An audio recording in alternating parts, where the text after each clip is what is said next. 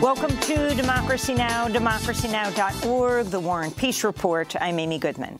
The Biden administration's announced plans to open processing centers across Latin America where asylum seekers would have to request permission to come to the United States, blocking tens of thousands from seeking relief at the U.S.-Mexico border. The first processing centers will be located in Guatemala and Colombia.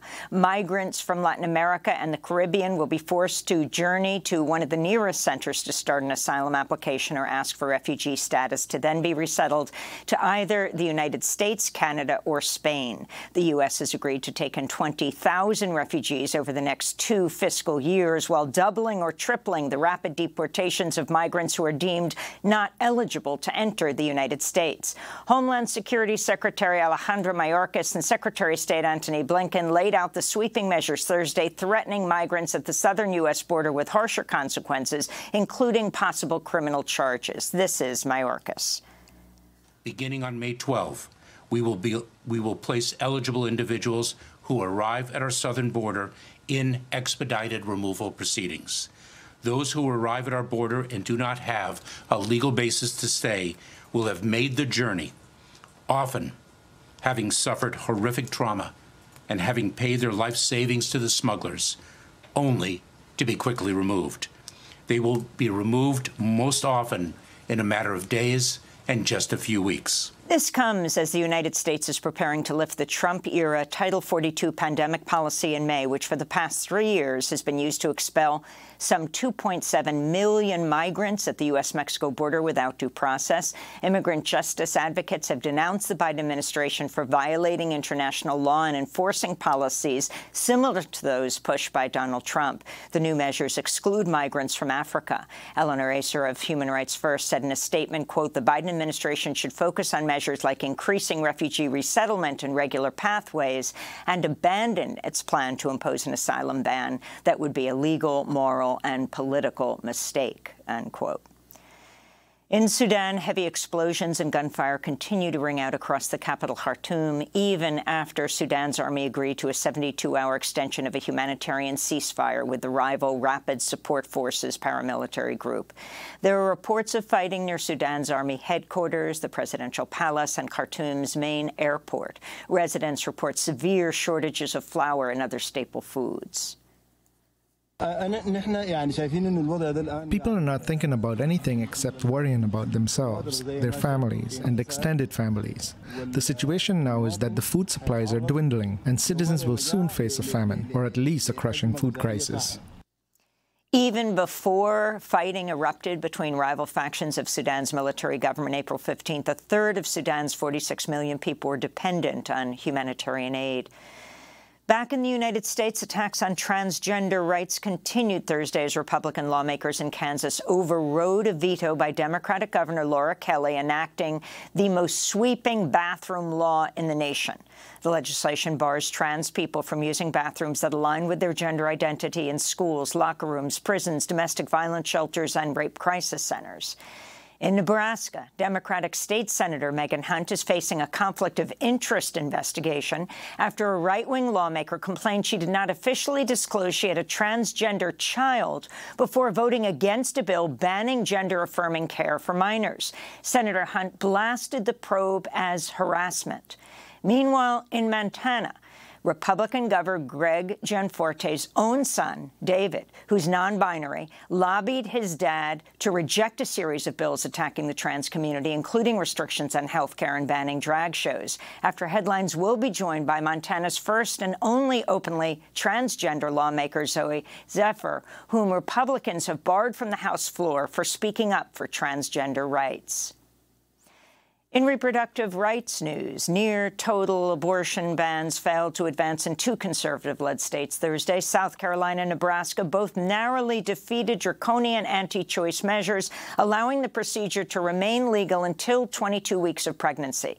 Meanwhile, lawmakers in Vermont passed a bill Thursday further protecting access to abortion, including medication abortion, as well as gender-affirming health care by shielding providers from liability. On Capitol Hill, Senate Republicans filibustered to block ratification of the Equal Rights Amendment, which would codify gender equality in the Constitution. The measure was first introduced a century ago and passed 50 years ago, but has never been ratified as conservative opponents have argued the deadline for ratification has expired. Ahead of Thursday's vote, women House Democrats marched to the Senate to demand their colleagues pass the ERA. Legal experts believe its ratification would have helped helped prevent mounting attacks on LGBTQ communities and reproductive rights. The Senate's voted to roll back emission standards for heavy-duty trucks set by the White House. Conservative West Virginia Democrat Joe Manchin joined Republicans in Wednesday's 50 to 49 vote, setting up a veto by President Biden if the Republican-led House also passes the measure. This comes after environmental groups and some Democrats condemned Energy Secretary Jennifer Granholm's endorsement of the Mountain Valley fracked gas pipeline earlier this week. Arizona Congress member Raul Grijalva said in a statement, quote, fully green-lighting the pipeline will condemn Appalachian communities to generations of pollution and related health and safety issues while also doing nothing for our ambitious climate goals, he said. Protests demanding urgent action on the climate crisis have ramped up across the United States. On Thursday, a pair of protesters smeared red and black paint on a glass case housing artwork at the National Gallery of Art in Washington, D.C., demanding President Biden declare a climate emergency. This follows demonstrations earlier this week outside the offices of banking giant Citibank in New York and Wells Fargo in San Francisco. A new study titled Banking on Climate Chaos finds the world's largest private bank banks loaned $5.5 trillion to fossil fuel projects since nations signed the Paris Climate Agreement. On Tuesday, climate activists interrupted a talk by John Podesta, who heads the White House Office of Clean Energy Innovation and Implementation. They were demanding the Biden administration reverse its approval of ConocoPhillips' Willow project in northern Alaska and act swiftly to end the use of fossil fuels.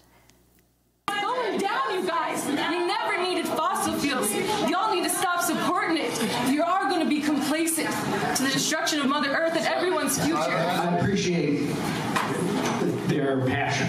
Uh, and we're trying to do, uh, create a transition that gets to net zero by 2050. Too late! Uh, they have a point of view. That is too late! 30 years? That is too late!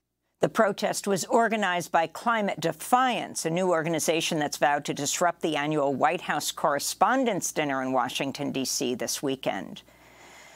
Former Vice President Mike Pence has appeared before the federal grand jury investigating Donald Trump's efforts to overturn the results of the 2020 presidential election. His testimony Thursday came a day after a federal appeals court rejected an emergency request to quash special counsel Jack Smith's subpoena of Pence by Trump's lawyers, who cited claims of executive privilege. Vice Media is canceling its award-winning show Vice News Tonight as part of the company's mass layoff of over 100 workers, including most of its audio team. Vice is the latest media outlet to cut jobs after BuzzFeed last week announced it's shutting down BuzzFeed News. Vice Union said on Twitter, quote, these workers are suffering the consequences of years of poor decisions they played no part in. And the white woman whose discredited accusations led to the lynching death of black teenager Emmett Till in Mississippi seven decades ago has died of cancer at the age of 88. It was 1955 when Carolyn Bryant Donham accused Emmett Till of whistling at her in her store. That prompted Till's abduction, torture, and murder. Donham's husband and his half-brother were tried for the lynching and acquitted by an all-white jury. In 2007, Donham confessed she had fabricated her claim, leading the FBI to reopen Till's case. But the Justice Department ended its investigation in 2021 without filing charges. Last year, a team searching for evidence in Emmett Till's case found an unserved warrant charging Donham in his kidnapping. And those are some of the headlines. This is Democracy Now!, democracynow.org, The War and Peace Report. I'm Amy Goodman. We begin today's show in Montana, where the Republican-controlled State House of Representatives voted Wednesday to censure the state's first and only openly transgender lawmaker, Zooey Zephyr banning her from the House floor and forbidding her from speaking during floor sessions. Zephyr will only be able to cast votes remotely for the remainder of the legislative session. The move comes a week after Representative Zephyr delivered a searing condemnation of a bill that would ban gender-affirming health care for youth. If you disallow the use of the medical care that is accepted by every major medical association, if you disallow that care and don't allow people to, to have access to that, the only therapy left is either A, meaningless, or B, conversion therapy, which is torture. If you are forcing a trans child to go through puberty when they are trans, that is tantamount to torture. And this body should be ashamed. And if you vote yes on this amendment and yes on this bill, if you vote yes on this bill and yes on these amendments, I hope the next time there's an invocation, when you bow your heads in prayer, you see the blood on your hands. After this speech, Republican lawmakers in Montana moved to censure Zooey Zephyr. Ahead of a vote to ban her from the House floor, she addressed her fellow lawmakers again. Today, I rise in defense of those constituents, of my community, and of democracy itself. Last week, I spoke on the governor's amendments to Senate Bill 99, which banned gender affirming care. This was a bill that was one of many targeting the LGBTQ community in Montana. This legislature has systematically attacked that community. We have seen bills targeting our art forms, our books, our history, and our health care. And I rose up in defense of my community that day, speaking to harms that these bills bring and that I have firsthand experience knowing about. I have had friends who have taken their lives because of these bills. I have fielded calls from families in Montana including one family whose trans teenager attempted to take her life while watching a hearing on one of the anti trans bills. So when I rose up and said, There is blood, on your hands. I was not being hyperbolic. I was speaking to the real consequences of the votes that we as legislators take in this body. And when the speaker asks me to apologize, what he is, uh, on behalf of decorum, what he is really asking me to do is be silent when my community is facing bills that get us killed. He is asking me to be complicit in this legislature's eradication of our community, and I refuse to do so, and I will always refuse to do so. That was State Representative Zooey Zephyr, Montana's first and only openly transgender lawmaker. The Republican-led Montana legislature has voted to ban her from the House floor and has forbid her from speaking there. Well, Zooey Zephyr is refusing to stay silent and joins us now from Montana's capital, Helena, Montana. Welcome to Democracy Now!, State Representative Zooey Zephyr. Um, you represent Missoula, a place that's very close to my heart. My first college roommate was from Missoula. Her dad was the band leader at Hellgate High. Um, talk about what happened on the House floor and your response to the censure saying you cannot speak in the House of Representatives from the floor? What we saw in um, the vote to censure me was inherently undemocratic. When the speaker had been refusing to recognize me for my comments on Senate Bill 99, he was taking away the voice of the Montanans who elected me to speak on their behalf. And when those community members showed up in protest and said, let her speak, let her speak, and he gavelled them down, he was continuing that process of silencing the people who sent me there to represent them. And talk about what this anti-trans bill is, why you so fiercely objected to it. The bill we were looking at bans gender affirming care for trans youth in the state of Montana. And that begins with something as simple as uh, social transitioning. That's what the earliest uh, form of gender affirming care is, which is letting someone grow their hair out or cut it short, go by a different name, etc. Um, and this bill banned the use of state property for for advocating for anything like that. As you get older, it looks like going on puberty blockers um, again. And these um, Uh, this healthcare is done slowly, carefully, in conjunction with the child, the parent, endocrinologists, health practitioners, following best practices by every major medical association. And so when you're looking at bills that take that necessary care away, what you're looking at is things that make the conditions for trans people impossible in our state. The motion to censure you was introduced by the Montana House Majority Leader, Representative Sue Vinton, a Republican from Billings, Montana. This is what she said about you Wednesday ahead of the vote. Every member of a legislature is presumed to be the equal of each member, and each has rights that must be respected. The rights of the minority and the majority both must be protected.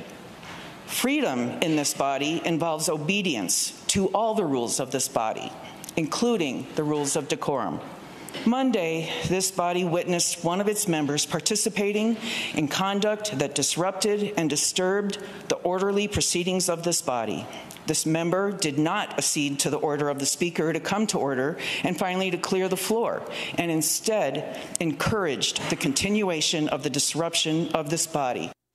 Your response to Vinton's comments. So, when we talk about every member being equal to one another, it's important to note the way that they are applying the rules of decorum unequally. We have had legislators who have screamed in their clothing. We have legislators who insinuated that my very existence is somehow sexualizing children. And we objected in the moment and then we moved on. Decorum rules weren't used. There were hearings where we begged the Republican chairs not to allow harmful, discriminatory language. Um, and they said a lot of people have a lot of opinions, we'll carry on. So, what you're seeing here is a Republican controlled legislature using a tool like decorum as a way to silence those who are holding them accountable for the very real harm that their, their bills bring. Now, just understand what's happening to you right now. Um, you were sitting in a hallway trying to work Thursday. You'd been banned from the House floor, and they tried to kick you out of the hallway as well. Can you talk about the Montana Freedom Caucus, which called for your immediate censure, who also um, uh, deliberately misgendered you in a statement they wrote? So much like the unequal and uh, hypocritical ways decorum has been enforced, I'm not surprised that the Freedom Caucus would misgender me in the same moment that they call for civility and discourse. It's a caucus that calls for limited government while simultaneously using government to take away necessary and life saving health care for people in my community. And I sat down Thursday. I, I, I walked in and I said, I want to be as close to the people's house as I can be, so I can speak to legislators, so so that even despite the fact that my voice and the voice of my constituents isn't allowed on the floor, I can do everything in my power to make sure their voice is heard.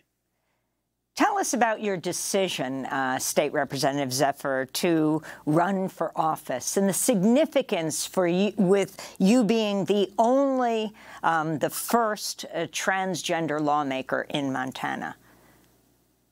So I testified last session and uh, in 2021, and as I was testifying on a trans sports ban, I saw that the people listening on the panels didn't seem to want to hear. And I, then I watched votes on anti trans legislation pass by a single vote. And I thought, I need to be in that room. You need representation in that room if you're ever going to be able to move the needle. And so I was happy to run, go through my community where I lived and walked through and um, spend all of my time. And they were uh, gracious enough to elect me, and I'm happy to serve in Montana alongside Representative S.J. Howell, who's the first, the state's first non-binary representative. So tell us about the other um, anti-trans and bills targeting the LGBTQ community that are going through the Montana legislature, and then talk about where the governor stands. So we're seeing an array of bills targeting the LGBTQ community and particularly the trans community. We've seen books that are trying are we've seen bills that are trying to ban our books under the guise of obscenity laws. We've seen bills that are trying to ban our art forms under the um, drag anti-drag laws. We've seen bills that tell students they're allowed to misgender people. We've seen bills that say trans people don't get health care and even if they have access to health care medical practitioners who don't want to provide it can just ignore you for any reason. And these bills, again, as I mentioned, began with the sports bans. And so we're seeing the moment people got a foot in the door saying, oh, trans equality has limitations, they put an asterisk uh, on that. Soon as that got in, they started escalating the attacks, which is what we're seeing in Montana and across the country as well. And Governor Gianforte, whose own son, David, is non-binary, who's lobbied his dad to reject the series of bills attacking the trans community? You know, I have not had direct contact with the governor's office on these bills. Um, I have spoke to folks uh, in his staff about these bills and how they're harmful policy, how they hurt our community, and how, quite frankly, communities in Montana do not want this. Um, and so, one of the things it's important to remember is that trans people, we live lives full of joy. We walk through and are a part of our communities. And so, whether you're working a, a day job in an office or you're the governor of the state of Montana, you are never far from someone who is trans or non binary and worthy of, of love. And let me ask you about what happened in Nebraska. Uh, Democratic State Senator Megan Hunt facing a so-called conflict of interest investigation after a right-wing lawmaker complained she didn't officially disclose that she had a transgender child before voting against a bill banning gender-affirming care for minors. Uh, she is saying that the probe is harassment. I think that, much like Tennessee, much like here, much like uh, Representative Mauree Turner in Oklahoma, what you're seeing is far right legislatures are passing policies or bringing policies forward that are incredibly harmful, get marginalized communities hurt and killed, and those communities and the people that care about those communities are beginning to rise up and say, this isn't acceptable. This isn't um, something we can stand for. And we're holding them accountable to the real harm that these bills do.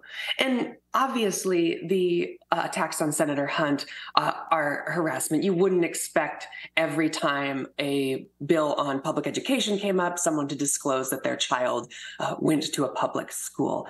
This is targeting a way, much like decorum was used against me. They are looking for processes and procedures in the rule book that they can use to justify uh, silencing and targeting someone um, for standing up for vulnerable communities. Montana State Representative Zooey Zephyr, we are going to break and then come back.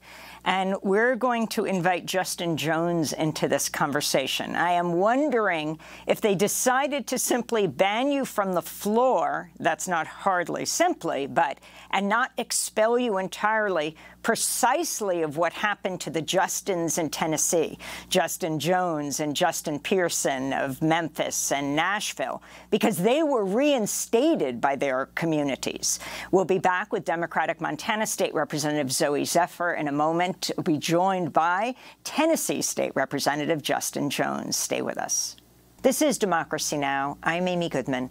From Montana to Tennessee, we're speaking to lawmakers who've been expelled or silenced by their Republican colleagues. Joining us now in Washington, D.C. is Justin Jones.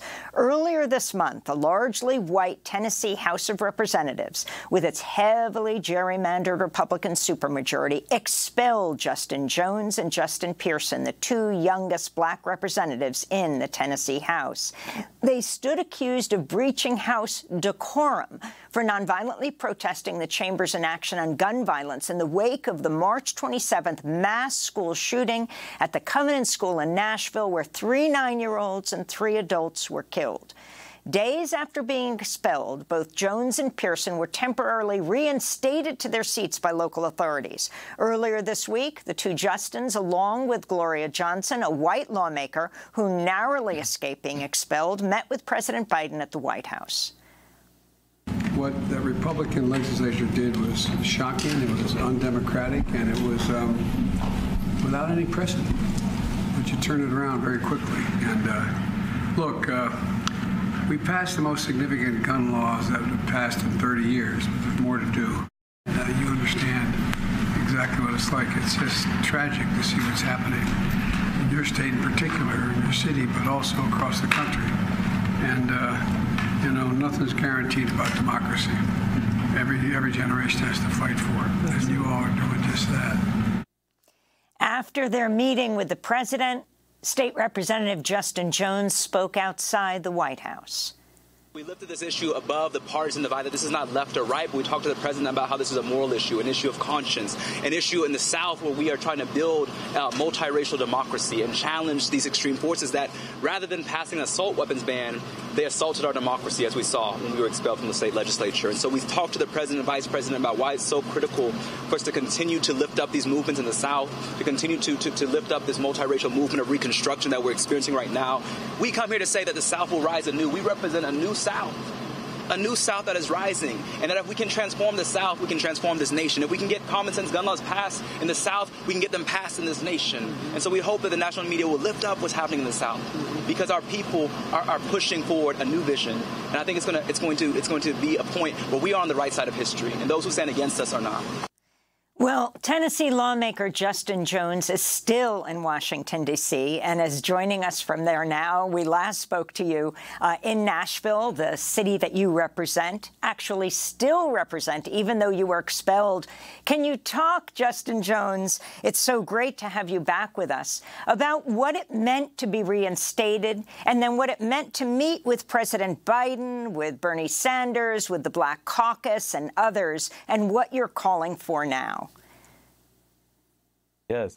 Well, it's so good to uh, be here again, Amy. And um, what it means is that the movement continues, is that as we saw in Tennessee, Tennessee has set a very dangerous precedent for the nation with what happened to um, my friend here, Representative Zephyr in Montana, what's going on in Nebraska, and what's going to continue to happen as we see this rising tide of fascism and authoritarianism that's taken hold of our nation um, we see this weaponization of decorum to silence dissent, to silence voices that make people uncomfortable. And that's really what they're, they're doing, is silencing any voice of, of, of divergence from their dominant narrative. And so, you know, to be here in D.C., we're continuing to lift up this this struggle as, a, as to nationalize what is going on, um, because it's not just going to impact us in Tennessee and in Montana, but it's really going to impact our nation. That um, an attack on one of us is an attack on all of us. And so, you know, we continue to push the White House, and, and i have been grateful to meet with many members here um, in the um, Capitol to let them know that from our state houses to the U.S. Capitol, we are facing some very um, dangerous trends in our democracy. I mean, connecting what happened to us to January 6th, which was an attempt to stop um, an election, to stop democracy. And so we have to stand together. Um, and we must show that we are not going to be divided and conquered, but that we're united in our struggle uh, for multiracial democracy and uplifting voices that have been often pushed to the margins. Justin Jones, you were elected to be state representative in November, but before that you were well known uh, in Nashville, uh, Black Lives Matter activist. In fact, you had taken on the House Speaker before. You're now calling for Cameron Sexton's uh, resignation. Um, but you had pushed and successfully pushed for the removal of the bust of Nathan Bedford Forrest from the state capitol rotunda. Nathan Bedford Forrest Forrest, the first grand dragon of the Ku Klux Klan, the Ku Klux Klan born in Tennessee. You ultimately won your battle, but Cameron Sexton voted against removing the founding Grand Wizard of the Ku Klux Klan's bust from the state capitol. Is that right?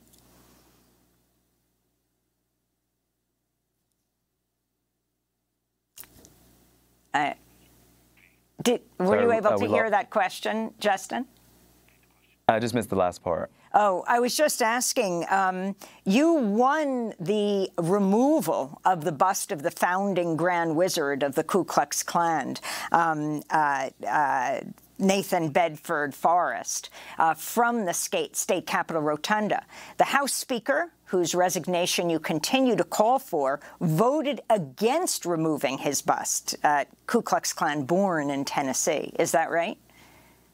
That's correct. And, and what we're seeing in Tennessee is this battle of, of, of, us representing a new South. You know, the, the South that does not worship um, symbols to the to white supremacy and the Confederacy and, and racial terror, but we're, we were trying to represent a new South that represents multiracial democracy and human rights, a South that affirms human dignity across race, across sexuality, across immigration status.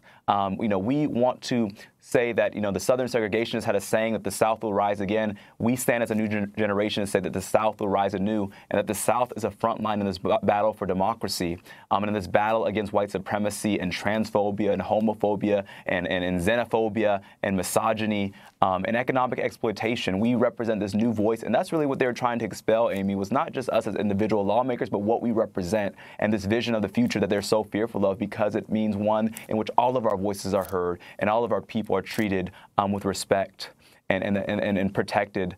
Um, and not just the voices of, of a, a, small white um, power structure of men of a particular religion and particular economic status who've dominated our politics for so long. Can you talk about um, the state legislature trying to give immunity to the gun manufacturers? This vote right after the mass shooting in Nashville, the city you represent that killed three nine-year-olds and three adults. I mean, it is immoral that the only gun law that we passed in the light of a shooting that took the lives of three nine year olds and three adults, and, and, it was not the first mass shooting in Nashville as well. We had the shooting uh, five years ago last week at the Waffle House um, in Nashville. And so, what they decided to do was say, let's not protect kids as we've been asking, but let's protect firearms manufacturers from lawsuits. Um, this is how immoral it is that we're dealing with people who care more about the profits of the gun industry than they, than they do the lives of our children, than, than they do the safety of our community. And, and it's immoral and it shows where their allegiance is to, to these special interests. It shows the corruption of, of money in our political system, that that's the first action they take in light of a mass shooting was to pass that law and also to expel the two youngest black lawmakers. This is the way that they're moving. And so um, it's not democracy. It is um, mobocracy. It is it is terror for our communities, and it is insulting to the victims of this mass shooting and their families. Um, that that is the step forward that they're taking, and also to arm teachers as well. That was the other proposal they had. Um, and it's just, it is so hurtful for our people who are grieving still and demanding that we pass common sense gun laws that the majority of Tennesseans across the political spectrum support. Red flag laws, a ban on assault weapons, universal background checks, and safe storage. That's what we should be passing. Before we bring Representative Zephyr back into the conversation, I wanted to ask you now about what's happening with you and Justin Pearson. You're back in as state representatives, defying the Republican supermajority. But you now have to go through an election, both in Nashville and in Memphis, uh, the two of you, uh, to because you were expelled. How much does this cost? When is this going to happen? Yes, so we um, have two elections. We have a primary in a month, and we have a general in August, and it's and it's all being you know at the expense of the taxpayer um, to, to run again. And I know a uh, Republican just announced that they're running against me, and so we're going to be pushing and we're going to be running an active campaign. Um, because we know that this is not just about us, but it's a referendum on democracy, Amy, and that's what we're going to be fighting for and, and pushing for. Is that their attempt to expel us was an attempt to uh, make a spectacle of authoritarianism that if you dare dissent, if you dare challenge the, the dominant power structure, this is what will happen to you. But I also want to say, too, is that though Pearson, Representative Pearson and myself are back, um, we're still not being allowed to speak on the House floor. We're being shut down on the House floor. We still have not been given um, committees again. So they've stripped our committees from us. And so they're doing everything they can to make us feel like second class members, though our communities sent, sent us back there after being expelled to, to represent them unanimously in the, in the Memphis Council and in the Nashville City Council. And so um, it is it is extreme what's going on. Um, you know, we're still um, unwelcome in the people's house. But like I told somebody, we're not there um, to make friends with them. These these are our colleagues. We're there to represent the voices of our constituents. Um, you know, some of the most diverse districts in the state of Tennessee who deserve to be heard. And every time they silence us, they silence our constituents. And that's why we must fight so hard against um, these authoritarians and these fascists who've taken hold of our state government. Well, speaking of being silenced, that brings us to um, bring in Democratic Montana State Representative Zooey Zephyr of Missoula, Montana um, the first transgender woman ever elected to the Montana legislature. The Republican-led state uh, legislature has now banned her from the House floor and also forbid her from speaking there. I'm wondering, is this the first time the two of you as state legislators are publicly speaking together?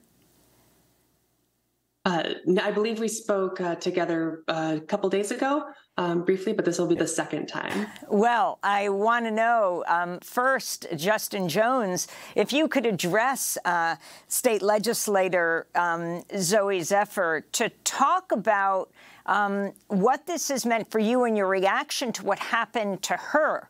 And is there any move for state legislators around the country to band together, the silence to refuse to remain silent? Definitely. Well, Representative Zephyr um, we, knows, you know, we talked on the phone of the day of this um, horrible and immoral decision to, to censure her. Um, and just knows that we stand together. And, and, as I said that night, and as I said that day, um, an attack on one of us is an attack on all of us. And so we are united from Tennessee to Montana to Nebraska uh, to Florida, as I was just talking to some lawmakers there, um, against this, this, this trend toward authoritarianism that's silencing voices who need to be heard. And, and if you look you know, if you look at what we represent, it, represents the future of our politics. People who are who are proximate to these issues should have a voice in, in, in, challenging them when it comes to the safety of our communities, when it comes to the well-being of our communities, when it comes to what democracy should be in our states. And so um, Representative Zephyr knows that, I, that I'm, I'm, standing with you, that whatever I can do um, to show up in solidarity, to, to, to push back, and let them know that we're not going to be divided, that we see this as a united struggle, that we see this as a struggle in which um, solidarity, deep solidarity matters, and in which um, resisting together um, against these forces of authoritarianism is going to be um, something that we continue to do nationwide. And so thank you for your courage. And, and, and, I'm just so grateful to see when you walked out, you, you had that same feeling of dignity. You, you you walked out with your head held high. Um, and, that, and because we know that we are on the right side of history, and so it's just beautiful to see those photos that you um, were unbowed, that you were you were pushing forward, and that you did not let them shame you, but you saw that the community stands with you, the people of this nation stand with you, um, and will continue to push forward, um, unafraid and, and, and, and unbowed against these forces. And State Representative uh, Zooey Zephyr, if you could respond and talk about um, the effect it had on you, this is right before you were censured, seeing Justin Pearson and Justin Jones being expelled from the state legislature. Did you at that point have any sense what was going to happen to you? I didn't, but I think, you know, what people keep saying is courage is contagious. When you watch people stand up for what is right, to defend their community, when marginalized groups come together and say, as Representative Jones has said, an attack on one of us is an attack on all of us. When you see people stand up, it drives you to stand up similarly. And that's also why, as the, one of the first groups to come out in support of me was Montana's American Indian Caucus, who said this is an inappropriate, undemocratic attack on Representative Zephyr. And they know that firsthand because they've experienced that. And the, the attacks on uh, the Native American community in our state and across our country goes way back before the attacks on, on trans people that we're seeing today. And Zooey Zephyr, what has been the response of the people who elected you? I mean, as I was saying um, around Tennessee, it's not as if you, you, you're fired from a store that you're working at. You were elected. Um, and so you have these other representatives who are saying the city of Missoula cannot have their elected representative speak. What does it mean for them? And when does this banishment end? So that has been, you know, I've seen pride from my community. They have said, thank you so much, first and foremost. Thank you for standing up. Thank you for saying the things we elected you to say, to hold the powerful accountable to the harm that they do. And then I've also seen them express frustration when they uh, copy me on their messages to Republican leadership saying, You're taking our voice. They're sending that message in emails. They showed up at the Capitol to send that message and say, You're taking away our representation. And that's not democratic. And going forward, I showed up yesterday ready to do the work as best I can. And I am going to do everything in my power to make sure that the people who elected me, the 11,000 Montanans who elected me, have representation in the people's house. And let me ask you, Justin Jones, about the anti-trans laws being passed in the Tennessee legislature. Um, the Biden administration has filed suit against Tennessee's ban on life-saving care for transgender youth. Can you talk about that and the position you took? Yeah, I mean, all session we've been challenging the slate of hate. Tennessee has had 27 um, anti-LGBTQ laws this session, more than any other state, um, being pushed in our legislature. Uh, laws to ban drag shows, attack trans youth's health care, um, to uh, challenge equality in marriage. I mean, it's, it's just been this this very hateful um, agenda that we saw, and we and we've resisted it at every step. Um, even before we were expelled, we were, you know, myself, Representative Pierce, and Representative Johnson were some of the most vocal voices challenging uh, this anti-LGBTQ um, agenda. And, and so, you know, we're glad that the federal government is intervening and, and is challenging that, that law that will harm our youth um, and, and, which we, we, shared on the House floor. This is harmful um, to the youth of Tennessee, and, it, and, it's a very dangerous policy for these lawmakers to try and be doctors, um, as they often try and do. And so we have challenged it, and we know that this this challenge of attacking the LGBTQ community, of, of, of attacking people of color, of attack attacking immigrants, is really an attack on, on, on democracy. Is really an attack on our future and the futures that we represent. And so we are again, once again, fighting together, um, united in this struggle against those who would try and scapegoat members of our community, against those who would try and use members of our community as punching bags um, to distract from their failures, from the you know to distract from their failures that the fact that in states like ours, the majority you know um, one in five children live in poverty. The majority of people are, are struggling to get by um, because they're waging a culture war instead of waging a war on poverty, instead of waging a war uh, to protect um, our communities from this this this this um, wave of environmental injustice that is, is plaguing our communities and of,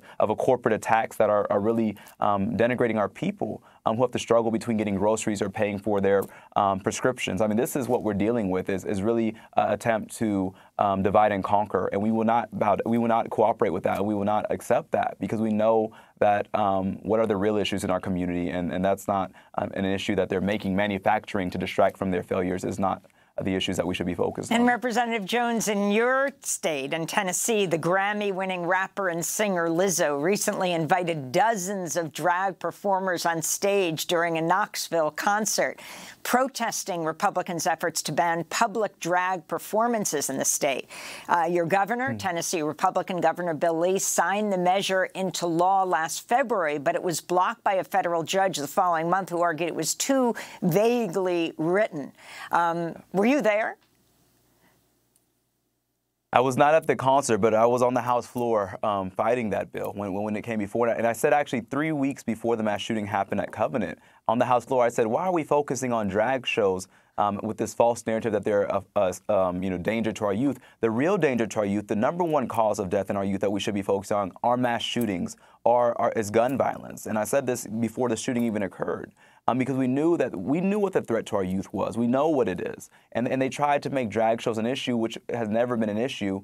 Um, the lawmakers who presented this bill were just simply trying to instigate hate against an, a community, the LGBTQ community. And so we're grateful for artists like Lizzo who've come to our state. But we live in a state where we pass more lawsuits than laws, to be quite honest, Amy. And so we knew that this was unconstitutional. We said it um, in committee and on the House floor.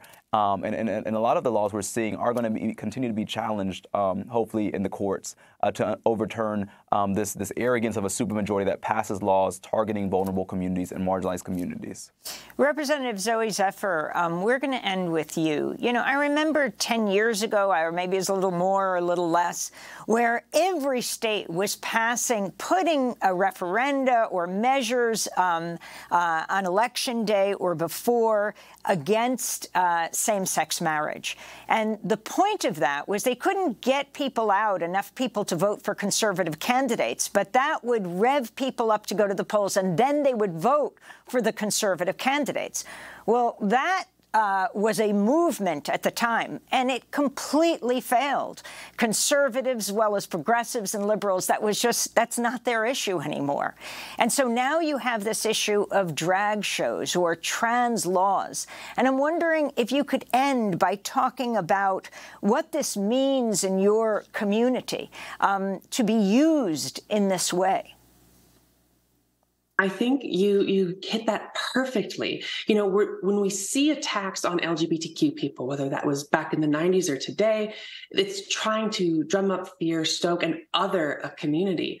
But the fact is, trans people, we live in our communities. We are known in our communities, and we are loved broadly in our communities, which is why this effort ultimately is going to fail. Because when they're attacking trans people, they're not just attacking us, they are attacking our loved ones who care about us, our coworkers, our community members who care about us. And in the same way that other marginalized groups are rising up and saying this isn't acceptable, that's what we're seeing with our communities coming up and saying, no, you can't do this to trans people. We love them, we care about them. And it's ultimately why, even though we're seeing these attacks in the legislatures and they're going to fail in the courts, they've already lost in our communities because we're loved. Democratic Montana State Representative Zooey Zephyr, the first transgender woman ever elected to the Montana legislature. Uh, she has been banned by the Republican-led legislature from the House floor, forbidding her from speaking. I want to thank you for being with us from Helena. You represent Missoula. And Justin Jones, Democratic Tennessee State Representative Nashville, recently reinstated after the Republican supermajority, heavily gerrymandered House of Representatives voted to expel him and his colleague Justin Pearson. They were reinstated by their own communities until there's a special election. Thank you both for being with us. Coming up, we look at President Biden's plan to send U.S. nuclear-armed submarines to South Korea. Stay with us. This is Democracy Now!, democracynow.org, The War and Peace Report. I'm Amy Goodman as we end today's show looking at the crisis on the Korean Peninsula. On Thursday, South Korean President Yoon Suk-yeol addressed a joint session of the U.S. Congress and warned nuclear threat posed by North Korea. On Wednesday, Joe Biden pledged to deploy nuclear-armed submarines to South Korea for the first time in 40 years and to establish a new bilateral nuclear consultative group where the United States would involve officials from South Korea in nuclear planning operations targeting North Korea. On Wednesday, President Biden issued a stark warning to North Korea. Look, a nuclear attack by North Korea against the United States or its allies or partisans uh, or partners is unacceptable and will result in the end of whatever regime were to take such an action. President Biden was speaking in the Rose Garden at a news conference with the South Korean president to talk more about his visit to Washington and tension on the Korean Peninsula. We're joined now um, by Christine Ahn, founder and executive director of Women Cross DMZ, a global movement of women mobilizing to end the Korean War. Christine is also the coordinator of the campaign Korea Peace Now, speaking to us from Hawaii. And we thank you for being up in the middle of the night for this conversation, Christine. Talk about about the significance of uh, the meeting at the White House between the U.S. and South Korean presidents and what President Biden has promised? Hi, Amy. Thanks for having me on. Um, the announcement that the U.S. would send nuclear armed submarines to South Korea is a very provocative and dangerous move. It's the first time that U.S. nuclear weapons have been on or around the Korean Peninsula in 40 years. In fact, most Americans have no idea that the nuclear crisis actually began with the US bringing nuclear weapons in South Korea from 1956, three years after the signing of the ceasefire. Um, and had them there up until George Bush Sr. So that is not only a provocative act directed at North Korea, but also at China. And this is actually throwing fuel into already into a, into a fire that uh, has been um, increasingly uh, dangerous. There have been um, massive military exercises between the U.S. and South Korea spring, all last year. Uh, last year, I think North Korea conducted 90 missile tests. Um, and the situation is just getting even more dangerous. There is a, a three star general, Dan Leaf, who says of all the conflicts currently taking place right now, whether it's between US uh, and China over Taiwan or the Russia Ukraine war, that the Korean Peninsula is um, perhaps the one that may be the closest to a nuclear war. So it is a very dangerous uh, moment. And the fact that the US will be sending US nuclear um, submarines to the Korean Peninsula and for Biden to make such um, a statement uh, that is akin to Trump's fire and fury era, where he threatened to totally destroy North Korea. This is uh, a wake up call, I think, for the American people and obviously for South Koreans who feel that um, Yoon is basically drawing um, the Korean Peninsula on the front line of the U.S. war against China. Hmm. Well, Christine Ahn, this actually is being billed as a compromise. As part of the agreement, President Yoon renewed a pledge not to pursue the development of a South Korean nuclear arsenal. Your response?